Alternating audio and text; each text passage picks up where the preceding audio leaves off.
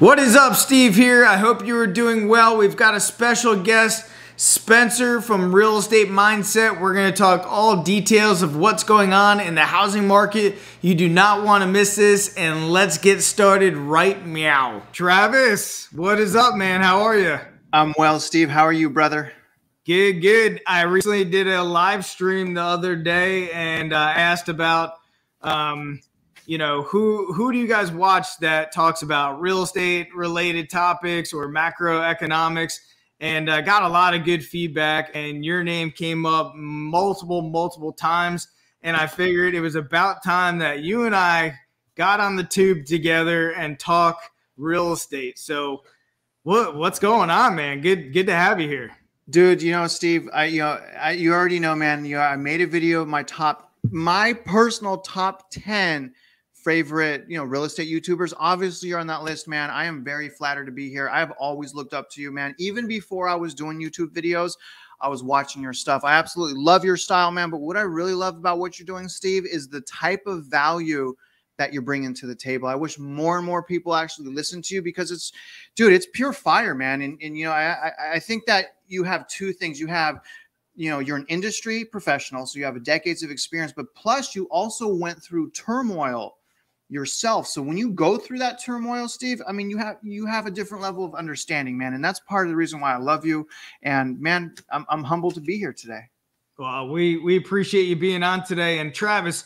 So for for everybody doesn't know, Travis has his own YouTube channel. It's growing like crazy. It's Real Estate Mindset. Um, if you're not a subscriber, go over there, check out his channel. He's got a wealth of information. He posts consistently as well, and I think that's that's important. And um, you know, before we kind of get into it, and you know, we were talking in terms of having some turmoil back in the last real estate recession, and you went through some some trying times as well. Can you enlighten us maybe on that as well as your experience and what you're doing in in today's day in in the real estate industry? Yeah, man. So, you know, it's it's always hard to talk about, you know, the painful past, right? But you know, I, I really feel like it's very valid in the current market that we have right now. You know, long story short, Steve, the reason why I'm sounding the alarm is because I've already seen this show before, and a lot of people don't realize that it's much worse to purchase an overvalued house than it is to have a higher interest rate. So I'm constantly preaching to people, I, I, I want a 10%. You give me a 10% rate, I'm cool with that because odds are the values are going to plummet. It's way smarter, way smarter to have a higher interest rate because you have the possibility, as long as you qualify, LTV and equity is important, but you have the possibility to refinance and you have the possibility to do something wonderful called sell. You can't sell your house if you're trapped in it upside down. So, what happened to me in 2008? You know, it felt like I lost $380,000 in equity. So I lost $380,000 in equity and it felt overnight, man. So I lost all this money in equity, but I was also in mortgage. So back in 08 and 09, as you know, the mortgage companies got completely gutted. So I lost my job as a result. I can no longer afford my mortgage payment, which was $5,000 a month, counting tax and insurance, completely stupid. I was 22 years old. Why did I even have that house, right? That's stupid. So, you know, lost my job. I could no longer afford my mortgage payment. I could not sell. I couldn't sell my I tried to short sell. I tried all these things. I could not sell and I could not refinance because I was upside down hundreds of thousands of dollars. Essentially, what that led to was a foreclosure. Let me explain the problem with the foreclosure because I went through this. My credit. So the everyone realizes your credit's going to be messed up. So my credit's been messed up. It was messed up. It's it, by the way, it's exceptional now, right? I have exceptional credit that I earned, and it's never going to be bad again. I'm never going to get it. But not only was my credit messed up for seven to 10 years, people don't understand that a deficiency notice will also be sent which means if they can't sell the house for what you owe, they're going to they're to act like that's your income. So my lender that that foreclosed on my house uh, sent me a 1099 for $180,000. So when the IRS got that, they're like, "All right, Travis, you you owe us 120." I was like, "How do I owe you 120? I, I lost everything. I lost." So, dude, so, you know, not only were my credits trashed, the IRS was after me for 13, almost 13 years. I went bankrupt, so it extended the statute of limitations. when all is said and done, man, I had to sit back and watch everyone else find homes for pennies on the dollar while I was there wallowing Yep. in my bad decisions. So that's what happened to me in 2008, brother. And that is why Travis and myself really have our YouTube channels is we we are trying to sound the alarms and not not necessarily the FOMO or anything like that, but we just want to just put out our experiences and and kind of like tell you what we're seeing in the markets based on data and research that we're doing on our own. But Travis, question for you. Leading up to that, did you ever think the real estate values would go to where they went? Dude, I mean, ugh. so keep in mind this was like a de- over a decade ago. Okay, I was a different. I was a punk kid. All right, I, I was raised right. I was raised right. I got caught in the rat race. I got to be honest, man. You know, and I look back at that. I was a fool. I was a fool. In my head, I was so caught up in my life. I was so caught up in the rat race. I was so caught up with my bills because I was in Southern California. I was making forty thousand dollars by the age of twenty one. Right. So I was so caught up, brother. I I, I didn't see it coming. Right. I, I didn't I didn't think it would happen to me. Right. It's not going to happen to me, or I'm just going to make enough money. I'm going to continue to make the same amount of money and um, you know, and I was not prepared, and I, I did not think they would go down uh, like they were, but not because the data wasn't out. It was because I chose not to to investigate it. You know, I chose not to study it because I, I was caught up in life, bro. So, and I remember, I remember to this day, I remember there's all these whispers, oh, the housing market's going to crash, the housing market's going to crash, but I never stopped like an adult, and I never reflected, and um, you know, I'm worried that that's happening right now as well. And look, you know, I was in the real estate market at the time. I was a real estate agent, actually a real estate broker. I had my own real estate company, and I too bought one property specifically at a really high price and and had big overhead with it and ended up short selling the property. And uh, unfortunately, yeah, it set me back. But I'll tell you, I picked up that property for two hundred and ninety thousand dollars. We short sold it for eighty-seven thousand dollars. Now, if you, you know, six months, eight, you know, a year before, if you told me that values would have gone to that point, I, I literally would have been like, you're, you're completely nuts. And uh, unfortunately, based on the data that we're looking at today, and and hopefully we can discuss it if you have the time in terms of defaults, mortgage defaults, yes, uh, and, and, where things are headed. Um, you know, do you think that we'll start to see property values take that big of a hit again? so this is okay. So I had to really reflect. Do I think this is going to be worse in 2008? And I, you have to understand, Steve, that I am biased because I lost everything. So to me, like nothing can be worse than 2008, right?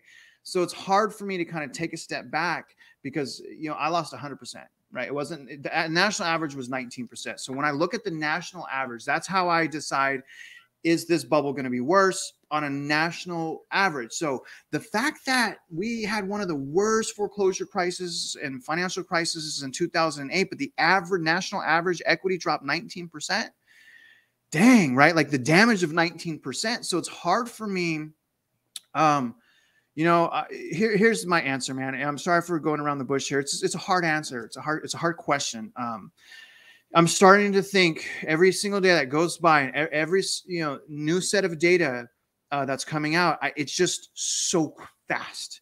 You know, I thought that the housing market would crumble apart. I knew that it was artificially in, inflated in less than two years. We've never seen that. I knew it would fall down, you know, and, and come crashing down. But I, I, even me, I didn't expect it to, you know, happen so quick, man. I mean, this is happening so quickly, and now I'm starting to think. And I'm, let me explain why. I, I'm starting to think. I, I'm not going to say 100%. I'm like 50, like 55%, right? 55%. I think it will be worse in 2008. And the, and the biggest reason is we didn't have inflation back then. And back then, the Federal Reserve could come to our rescue by doing quantitative easing, the lowering of the federal funds rate. And I will make the argument that the reason we're in this housing market bubble is because of quantitative easing, lowering the federal funds rate. So now that that option is out, I'm worried, bro. I'm worried. And, and, and not only Hands that, down so so we're like helpless now, right? So not only are we helpless, but we have to understand how the bubble happened. And the fact that we had such record breaking equity growth in less than two years, I'm worried that we're going to lose all that. I, I still, I can't admit, I, I still don't know that. I, I can't say that we'll be back down to pre pandemic levels. I, I can't say that because we're, that would be a, a, a national average like 40% drop.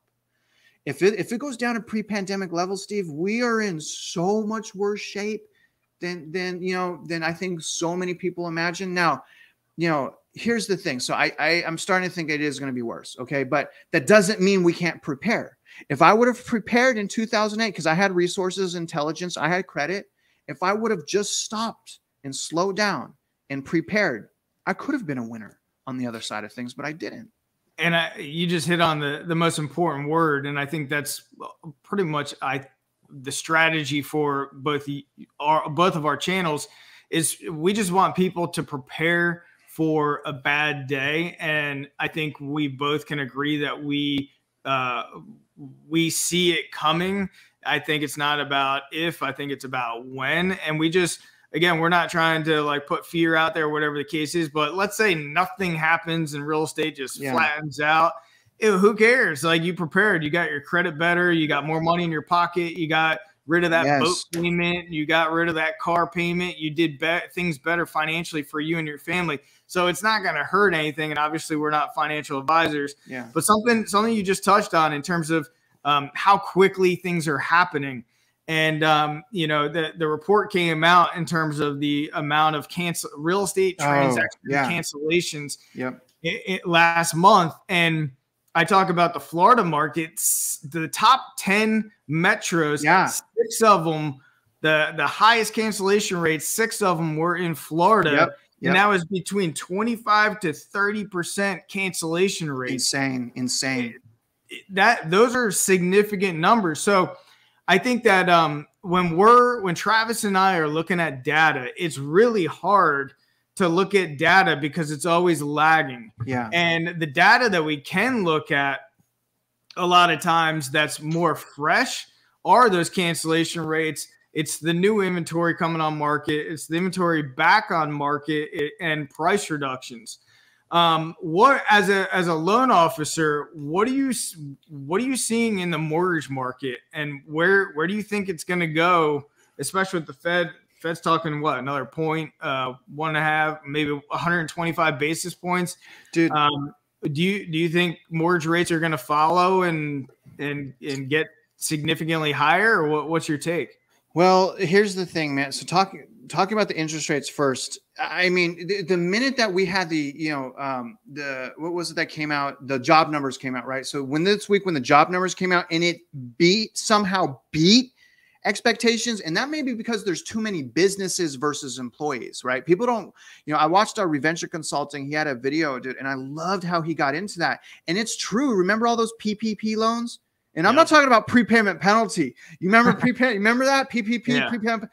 No, I'm talking about payroll protection program. And there's so many businesses. The job market appears to be solid. So I think that's going to signal to the Federal Reserve, oh, we're in super strong shape. And then this morning, CPI came out at, oh my gosh, 9.1%. To me, that's all the green lights that the Federal Reserve needed to see to go addition to it to tighten additional right? To take mm-hmm. additional tightening measures. So i believe it's going to be a 100 basis point increase.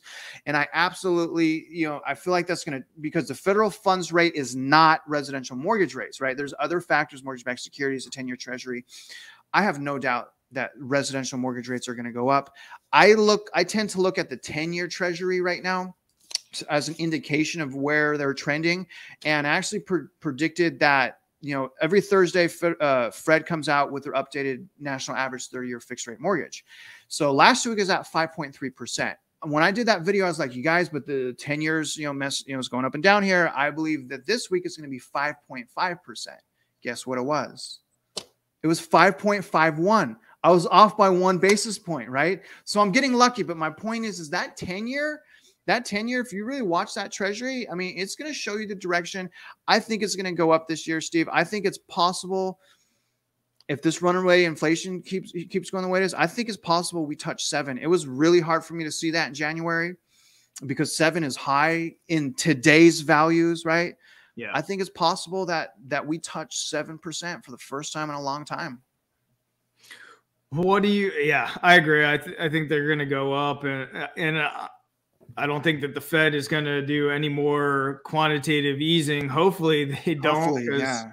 It'll it'll turn badly, maybe hyperinflation, and um, what what it what about you know I'm and I see it all the time coming into my uh, my email and and Travis and I talked before on a on another video, and I I gotta I gotta commend you for this.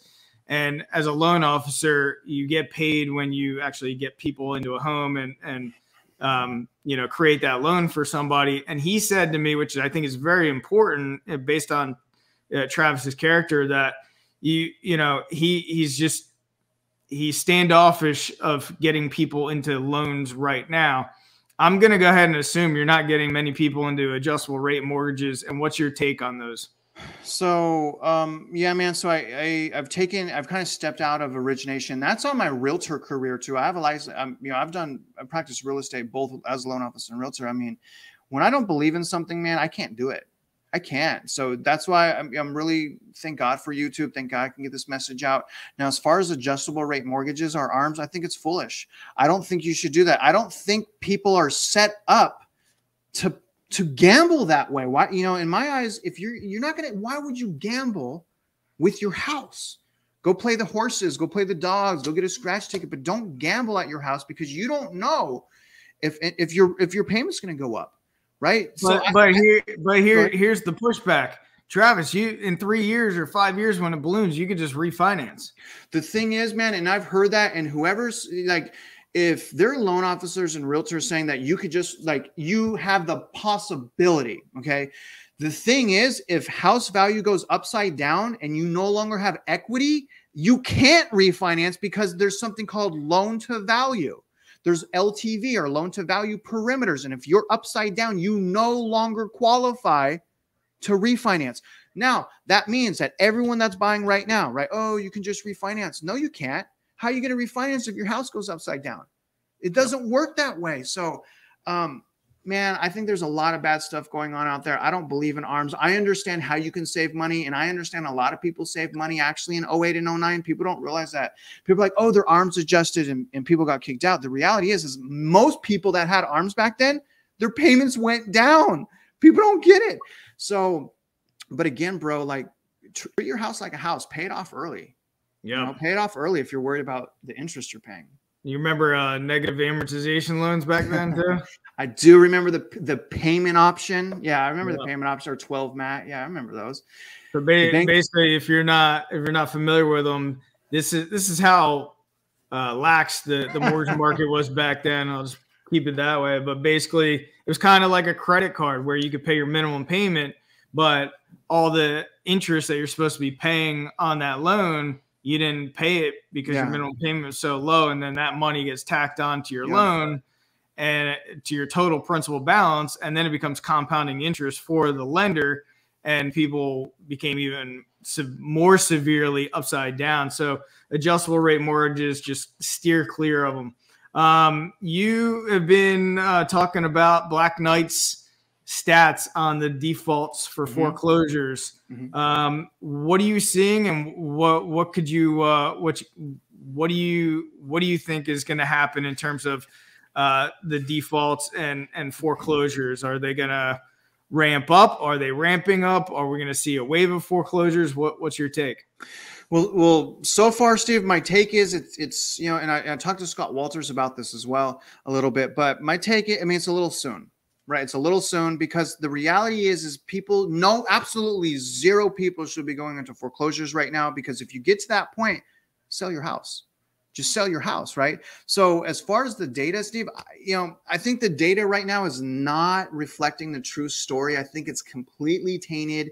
You know when you have year over year comparisons but you're comparing it to data when we had you know a ban against foreclosures that's not accurate right? That's not accurate. Uh, so I, I, think it's really difficult to see, you know what's going on with foreclosures. That's why i i personally hang on to serious delinquency rates.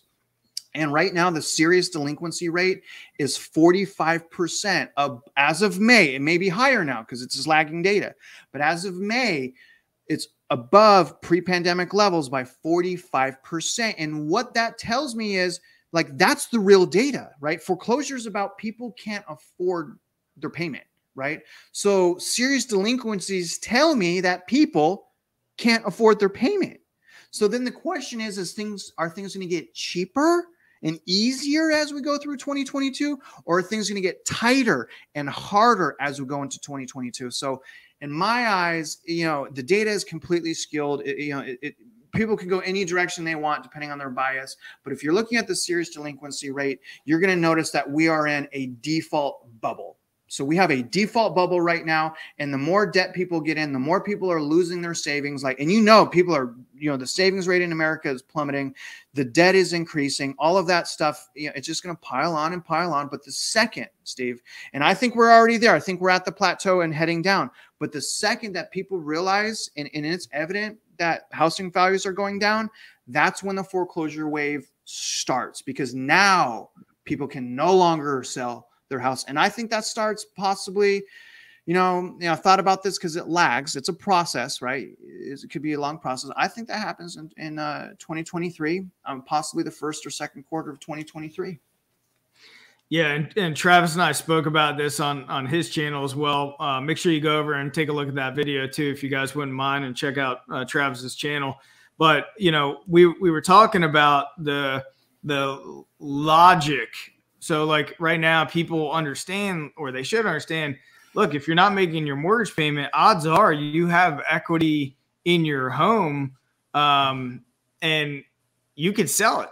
But uh, you know, Travis and I were talking. We're like, the last real estate recession told us otherwise, and what it really tell us it was, you know, people they they um, they didn't prepare, and also they just thought that they would be able to work through the yeah. situation. They yeah. would be able to get back up on their feet. They would be able to get back to paying their mortgage. They would be able to uh, get another job. And unfortunately, it just didn't happen for many. No. And I mean, I, I think the, the logic just kind of goes out the window. And um, what what's your take? So we had um, what was it at the peak? Like eight and a half percent of mortgages were going through the mortgage forbearance. Um, in terms of modifications and and what people because now we're down to like less than a percent. Um, what's your take on a lot of the people that were able to get modifications um, during that process? Do you think that we're going to see more default from them, or um, what, what's your take? so so talking about like the modifications back in like 09 to, no, present day. Oh, right now, because because yeah. and I think you would agree. You know, modifications back in 08, 09 was complete joke. I mean, yeah. the, the lenders were completely unprepared. Right, it was so slow. You had to tell people to stop paying their mortgage, and, and that's why I couldn't personally do loan modification. I can't tell someone to stop paying their mortgage, and I and, and, and cross your fingers that they accept your modification. And and if they don't, now you're stuck in foreclosure and you're stuck with horrible credit. I can't do that. So what I see happening right now is is, is we we don't know. You know, I, I I've heard a lot of you know information, reviewed some data where a lot of the loan modifications are now increasing the amortization. So they're going from 30 years to 40 years, which makes it it drops their payment. So, you know, I honestly, Steve, I think that they're better prepared for loan modifications because they learned the hard way back in 08 and 09 and it was a catastrophe by the way. It was it, it was a complete joke.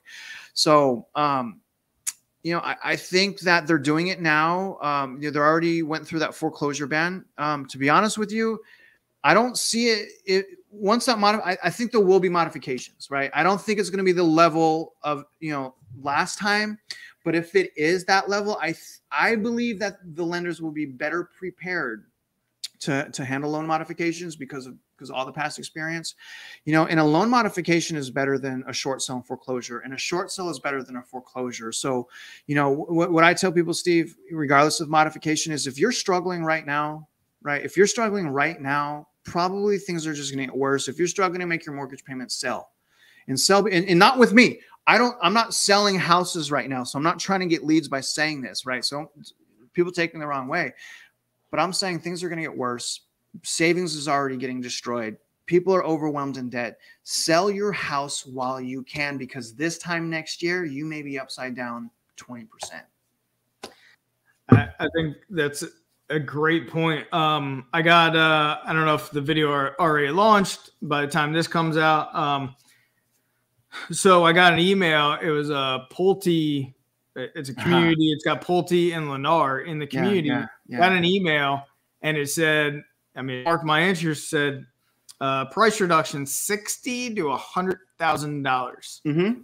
And uh, I've been I've been talking about new construction and mm-hmm. how builders are going to start uh, getting the squeeze, and then um, they're going to start offering incentives. They're going to offer incentives to real estate agents to bring buyers there. They're going to offer incentives to mortgages, all that kind of stuff. And uh, I had some comments because I said, and then eventually they're going to drop prices. And some people were like, no way they're gonna they're no way gonna drop prices. I'm like, okay, you know, we'll see, right? Anyway, like two days later, I get this email, and sure enough, Pulte drops prices sixty to a hundred thousand dollars on, you know, it's just one community, and you know, I think it was like five or six homes that they dropped price on, but that that's significant. I'm, I knew they were going to drop price, but I was like, man, I maybe ten grand, maybe twenty five grand. So we're we're starting to uh, see the turmoil for new construction. Um, what do you what do you have to say about the um, when people are like, you know, we just have a big lack of inventory because I, I, hear it all the time, and I think that's the main defense for the housing market in general is we don't have any inventory. Yeah. What what do you say about that to to anybody that's listening right now? Well, the first thing I'll say, Steve, is yes, inventory is really important. Okay. But it's only one thing. So let you know, let me explain. And, and real quick about those new home builders, man. I got that same thing. And you know, I even had new home builders all this hate, like, no, we have so much migration. We have so much migration. They're never, dude. I just got done uh, doing my notes for an update video. I found four new home builds that lowered their prices from fifty to twenty thousand dollars yesterday. Wow. Right. This is happening. I mean, we're, we're not bad people. I think, anyways. So the question was, what do I what do I see happening with new home builds? Is that right? No, uh, live, well, it can be new new construction as well, but the lack of inventory is what's oh going to keep gosh. the housing market propped up. I got too many children. I'm so sorry. So, um, here's the thing, man. Um, for me, I mean, this this debate is now easy for me to explain. You you know, first of all, in my opinion and in other people's opinions as well, we're not in this housing market bubble because we're in a bubble. Right? I'm not talking about how we got here. We're in a bubble. Excessive equity growth, it's breaking fundamentals. We're in a bubble. We did not get in this bubble because of inventory.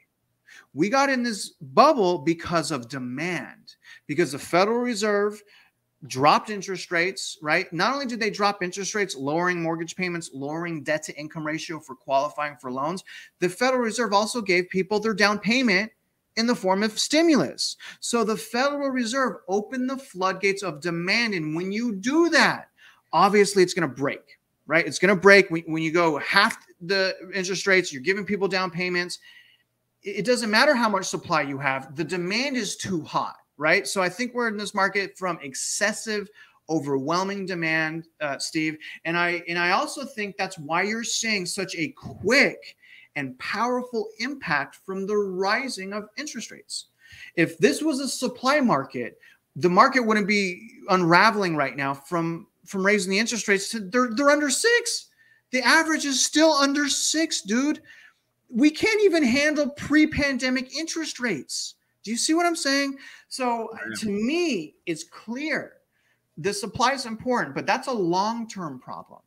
I think that we need more supply and more building for our long term problems, but this immediate problem right now, it's demand, brother. And so the people that are making that argument, you know, I think a lot, you know, I think they're making that argument because most professionals made that same argument and it's really corroded normal Americans now. Because even my friends that are, you know, you know believe the same beliefs as me they're like because i asked them like do you get what do you guys think they're like oh there's not enough inventory i'm like you don't listen to my youtube i never give my youtube videos to my friends but because that's not why I'm making them, right? So um, to me, it's clear as day, man. You know, it, it's it's a it's not a supply thing. We, we need it, but th- this problem is because of demand, and that's why you're seeing when the Federal Reserve turns off demand, that's why you see these changes happening so quickly. I think it's lame. I think people that are saying that, especially if they're realtors, I think that um, you know some of them are just greedy, right? But I, I also think that some of them just don't understand, right? Because this is something we've never been through before. So I don't want to say they're evil but I, you know, I, I think it's really bad advice, man. You know, and, yeah. and that's why I was saying. If you're a professional, because I, I talk to a lot of realtors, I train them, I educate them. I'm like, hey, you know, in their minds, like they can't say anything bad, right? They can't say this is the wrong time to buy. And I'm telling them, like, you're absolutely out of your mind. You have a duty to at least warn people. If you don't believe it, fine, but warn them of that possibility. And they refuse to. And it's a, you know, it's a huge problem. And I try to explain to them, like, you know, as a realtor, people will trust you if you're just honest. People yeah. are sick of this crap. People are sick of the used car salesman crap. People only talking about sunshine and rainbows and unicorns. People want to know is it safe for me to buy? If it's not, why? If it is, why? It's a total it's a it's a total breakdown in our industry. I think it's completely disgusting and you know you you said the two words bad advice um and it really was not long ago when i was taking picking apart videos cnbc or whatever the case is uh, century 21 ceo Coldwell Banker ceo uh, barbara corcoran dave ramsey all these cats they're they're talking the velocity of real estate go out and buy it's a great time to buy and i'm i'm like wow you know you you want to talk about like I get it. Like you, you got a bottom line figures that you got to do for business, whatever the case is. But you know, the the number one thing in terms of like you guys making money, but you're really not protecting the consumer and giving that solid sound advice or both sides of that you know, advice sector in terms of you know pros and cons of buying right now. I mean, it, it, was just sad, and that's what that's why I was so pissed off, man. I was I was livid yeah. listening to these yahoos yeah. freaking spit this game of right now is the best time to buy, and then Dave, Dave Ramsey, I'm like, ah, dude, know, he's horrible, man. And he's got all the ELPs, you know, he's got mortgage brokers, he's got real estate agents, got insurance guys. So yeah, that if people are not buying real estate, that's going to affect their bottom line, and that's the message he's putting out there. Now, you know, he could be they all could be right. Yeah. If, if, and I don't think it's going to happen. If they the reverse. Fed starts buying mortgage-backed securities again, they reverse, yeah, they, they, start throwing a bunch of stimmy checks back into the market. Yes, and and the Fed keeps the rate down to zero. But what's that going to do? We're going to see we'll see hyperinflation at that time, and that's also unnatural. You know, like like how can you really advise on something that's unnatural? I mean, so it's just shallow, Steve. I mean, it's yeah. it's a show. I mean, I get it, man. You know, this is something that you know we've never seen before. I mean, we're in a recession and unemployment rate is only three point six.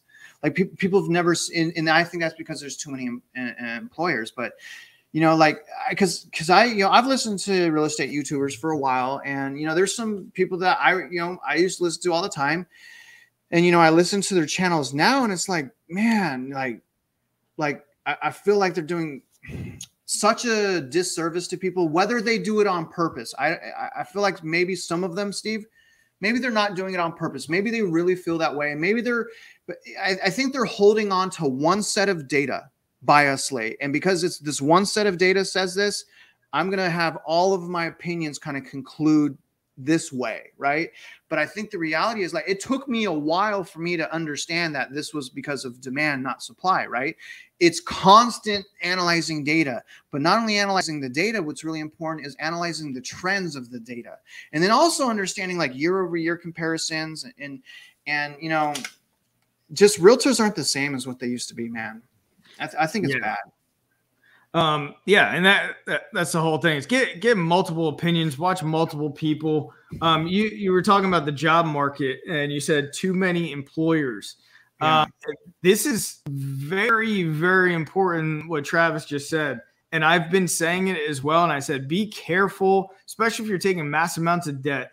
Be careful uh, of really having a comfort level with your employer because um, we're as the Fed keeps increasing rates, the companies that rely on short-term debt and low interest rates and a lot of them are going to be insolvent and a lot of them are going to be in trouble and there's going to be mass layoffs. We're seeing layoffs obviously in the mortgage markets. Yeah. yeah. But I think we're going to see a lot more yep. layoffs and the the healthy job market that we're seeing right now yeah. Yeah. I think is going to fall as quickly as as as we're we're seeing everything else drop um yes. in terms of like every other bubble out there um, I think that that's a, a, very important thing that you just said because I, I think people are comfortable, they're confident in yeah. their wh- where they work and everything else. But uh, and I, I honestly, I don't think there's going to be. I think that the government is going to cherry pick who they're going to bail out, um, but they're not going to have money like they did back in 08